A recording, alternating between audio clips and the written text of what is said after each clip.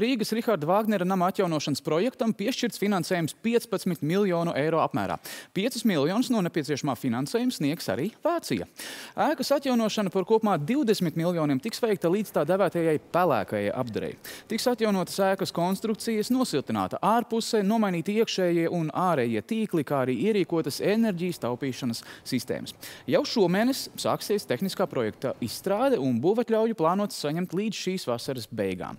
Saņemtie 20 miljoni eiro ir aptuveni puse no visa nepieciešamā finansējuma, lai veiktu arī iekšdarbus, restaurāciju un teātra tehnoloģiju iekārtošanu. Riharda Vāgnera biedrība turpinās finansējumu piesaisti no dažādiem fondiem, kā arī privātpersonām.